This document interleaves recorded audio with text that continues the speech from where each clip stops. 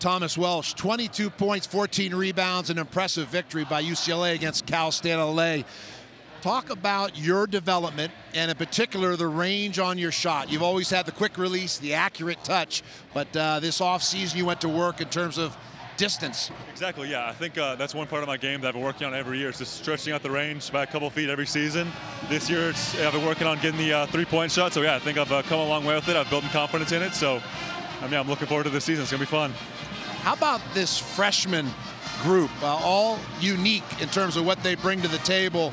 Impressive tonight in terms of the display of skill and talent. Uh, what do they like to work with? Your role as a mentor, taking them under your wing, what has that been like?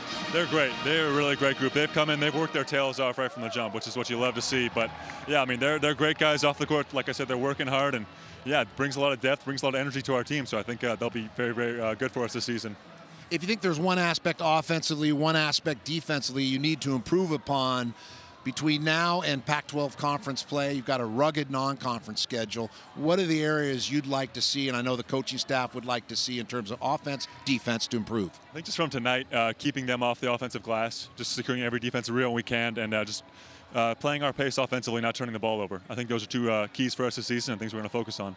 Congratulations. Take care, Tom.